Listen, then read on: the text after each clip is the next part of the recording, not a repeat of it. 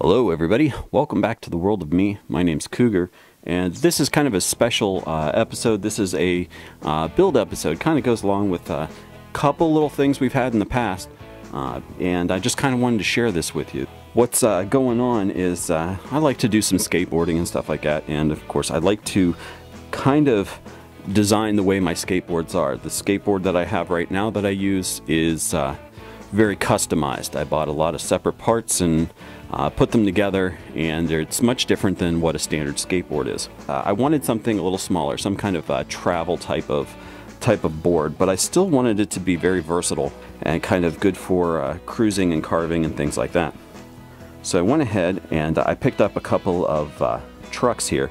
Now as you can see these are uh, different trucks than normal. They are very wide, which is because they are set for being longboard trucks. I like having things changed up. I don't like having all the same stuff. So I got a black one and then I've got the multicolored one. Uh, these are some old wheels that I had before that were on my other skateboard. So uh, what I'm going to do is I'm going to go ahead and start off with these. These are shred boots and these are 70 millimeter wheels.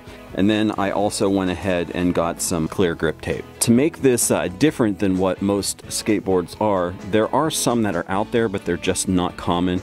Definitely can't get this from uh, Zumiez yet. This is actually the skateboard. This is only roughly about 18 inches long, so uh, a very short board. Uh, now I took this and as you can see it's folded over. I uh, went ahead and designed it out and uh, pretty pretty simple type design, kind of an egg shape almost, or maybe even more like an, actually very much looks like an apple seed I guess. So what will happen is we'll lay this down flat and the wheels face towards the outside and we will have the wheels like this. So you can see they do hang over quite a bit. Uh, the wheelbase will be almost 18 inches when you're going from the center of the uh, axle there between each other. So uh, very, very uh, long in that aspect for the length of the actual board. But uh, so there we go. That's uh, that's kind of what those are. And I do actually have a piece of wood right here. You can kind of see here in the background. We'll bring it up. And this is a piece of uh, birch plywood. And uh, on this, I have it already kind of laid out or have an idea on what I'm going to do with it.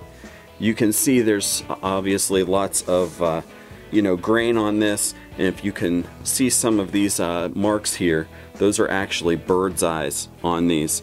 And so I'm going to try and incorporate a few of those into the top of the board. Now this is a quarter inch plywood.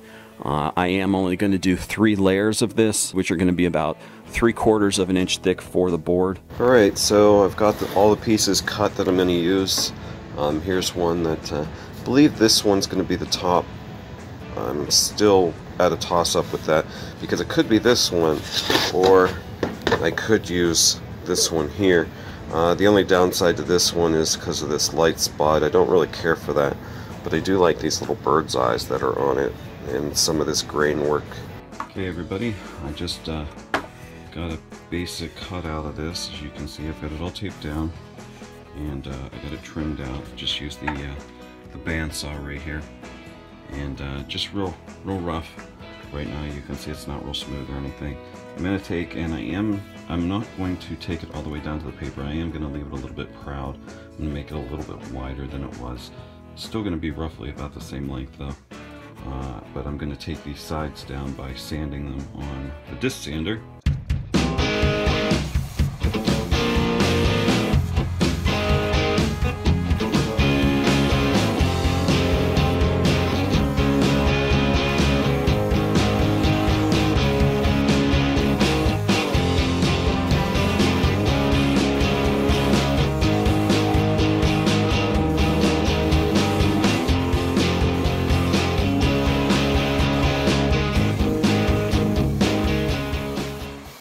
you can see, I've got a couple holes started. I left the paper on it just to give me some referencing, uh, and so I'm not drawing on the wood too much. But you can see this line that I have here. Uh, that's actually the center of balance, so obviously it doesn't fit with that original rectangle that I put in there. Uh, those centers are going to be um, the center of the radiuses for the outside edge, so It's not going to be square like that box, it's going to be rounded on the sides.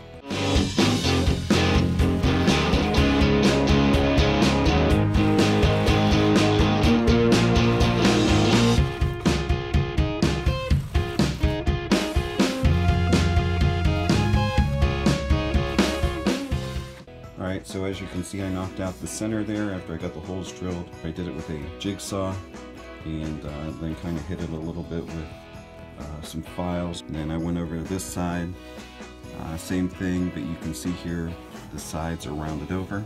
I used a quarter inch round over bit in my router. And uh, let's go ahead and uh, do it for this one.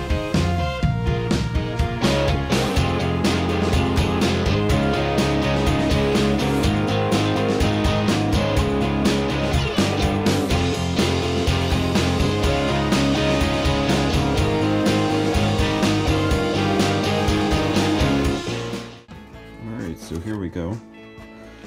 Got the whole thing radiused over and everything. And uh, now what we need to do is get the marks done and the holes drilled so that we can put the uh, put the trucks on. Right everybody, you can uh, see I have stained one side of this. I got in there and stained inside of the handholds and around the outside. And then uh, all that stuff there you can see is tape. That is to protect the underside of it because I did not want that stained. I wanted the very natural wood finish. Okay everybody, so here we go. Finished board. And uh, you can see that nice kind of golden color. Now it is um, a bit darker. Uh, the way this records the ISO is a little high. You can see I've got, uh, obviously the holes are all drilled out. Uh, I'll explain some of the stuff you're seeing here in just a minute, but uh, it does have a really nice look to it. And uh, from this angle, you can't see some of the some of the things that are kind of special about it. If we tilt it a little bit, you can see this has a really high glossy kind of finish. I did uh, kind of polish this up. And then let's go ahead and flip it over. This is our own custom World of Me board. Uh, that is print. It is uh, directly from the printer. Uh, used a bubble jet and uh, was able to get in, uh, do a reverse print and print it down on this. Uh, now it, it's as you can see there are some areas where it's kind of light. It was a little bit light there. Um, it's kind of this is actually because of the wood grain. You can see the wood grain come through. You can see that bird's eye right there. The bottom, as you can see, is just a natural wood tone. It did not do any staining to it there. Uh, but then again, as you can see, it is a very shiny finish. Uh, I tried to get that uh, as clean as possible. Uh, since they do not make uh, side rails you know, or nose guards or anything like that for a board shaped like this, I basically kind of cu customized my own. Uh, obviously this is not like a big thick piece of plastic, it's really kind of like a bug guard that you would put on the front of your car, and, but instead of it being as solid as a bra, you just spray it on, you can still see the coloration without completely changing the look of like your vehicle, and so same here, it still has uh, some of the colors, obviously it's muted because of the little bit of a, a white tinge to it. Alright, alright, go for it. Pull it out.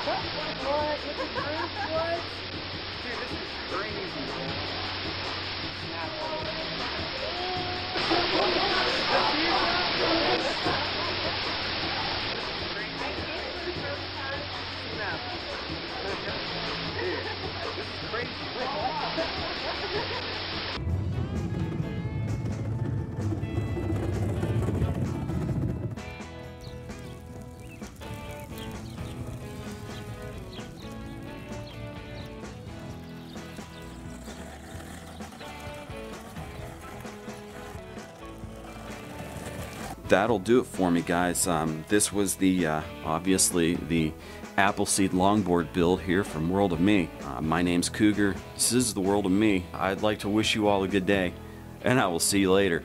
Bye.